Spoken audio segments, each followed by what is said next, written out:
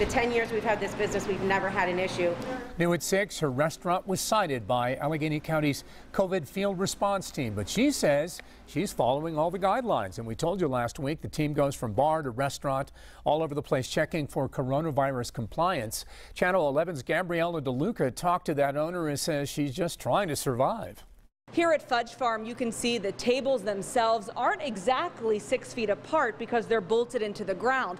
However, the owners say that the seats are socially distanced from each other, and that should be enough. We did as much as we could to, in order to stay open and survive. Fudge Farm owner Molly Rainey put social distancing signs on her floor, a plexiglass barrier at the cash register, and even more glass around her food display.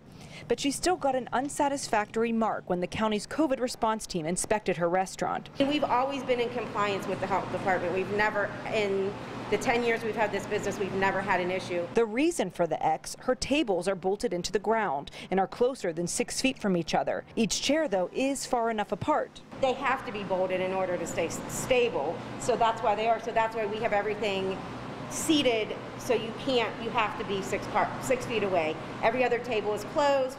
But according to state regulations if a restaurant is self-seating you have to clearly make the six feet distance visible to customers by using something like signs or roping off chairs. Help us give us suggestions. If you're going to cite us for something, say, hey, maybe you could do it this way, or this, this is wrong, do it this way. Channel 11 reached out to the health department today, who said in part, this is a process to help educate and inform food establishments of the requirements under the current health orders.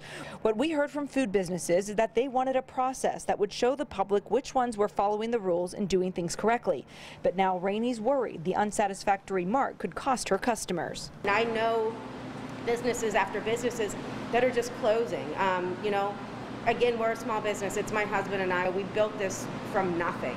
To lose it is more than just a financial disaster. It's this is our passion. This is our dream. A spokesperson from the health department said they are going out to restaurants based on complaints that are made to the department, and then they are also stopping by nearby facilities in the area. Reporting from the south side, Gabriella DeLuca, Channel 11 News.